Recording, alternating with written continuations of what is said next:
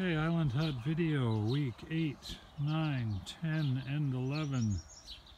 Um, haven't had any videos on, haven't been feeling too well, and haven't completed a whole lot of work, so got a big planter out there.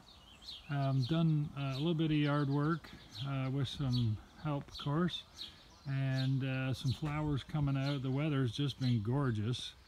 So we could do a quick run of the outside here. Last time the roof was done, uh, the soffit fascia and eaves trough has all been installed, so you can see that uh, that uh, powder blue, uh, you know, it's like a powder navy, um, has been installed. So it's all all the way around. If you look at the color of the front of the house here, as far as the boards go, the color of that was to run in line with the front of the house because I thought it was a, a beautiful color uh, with the uh, the aggregate on the uh, the rest of the house. So I went ahead and stayed with that.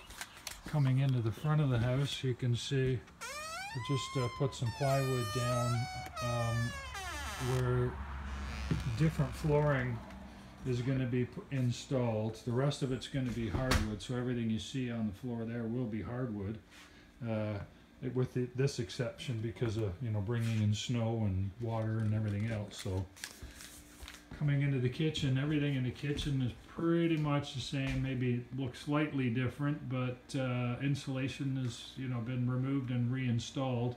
There's some leaks in the wall there. They've been all patched up and and uh, ready to roll now. Uh, the ceiling, you can see all the holes in it for uh, pot lights and hanging lights and the whole nine yards.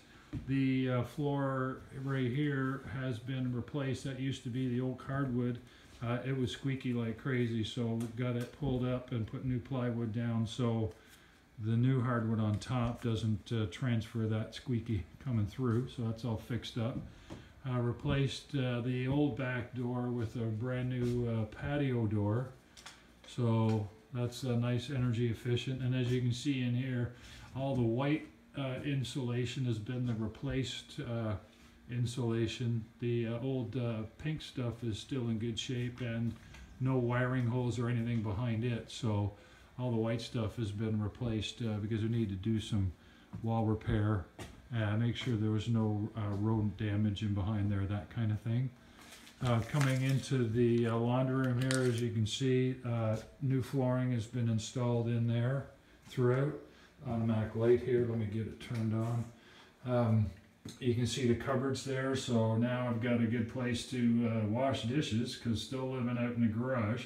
So now I have a nice place to do the dishes right there and uh, the washer dryer is installed and enclosed with the countertop and panel so now I've got a folding table and a good place to do the laundry uh, the powder bath here the uh, the toilet's been installed in there so basically this uh, this laundry powder area is ready to roll with the exception of the trim the uh, lighting is also I, I installed the lighting here the upstairs uh, hallway and the front door entranceway will have the exact same light as that one right there. So, like I say, this room's all done and painted, ready to ready to go.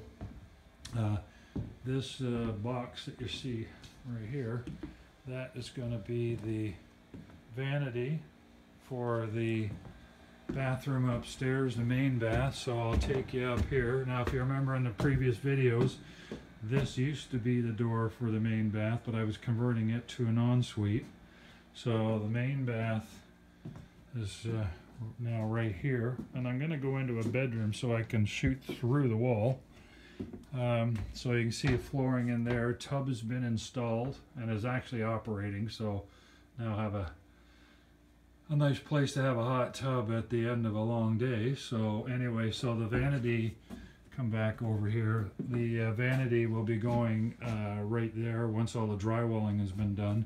And then the uh, toilet will be going behind what will be the uh, door.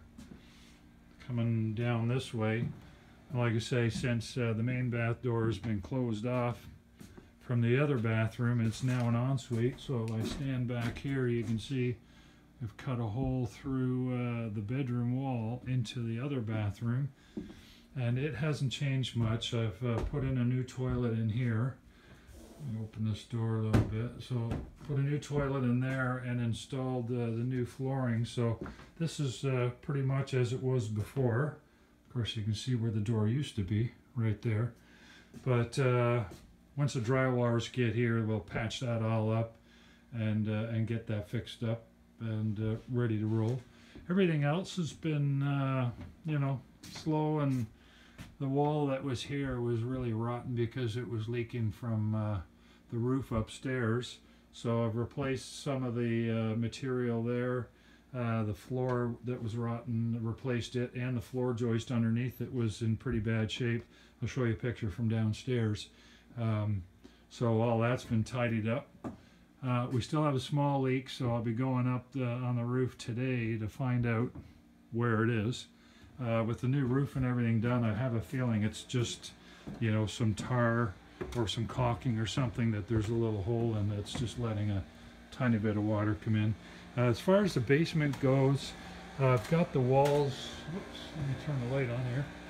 Got the walls ripped out. Uh, this is going to be the project this week to gut this, take all the insulation out of here and frame up all the new walls, remove the wood stove, remove all that brick, all that's going to be taken out because it's not necessary anymore.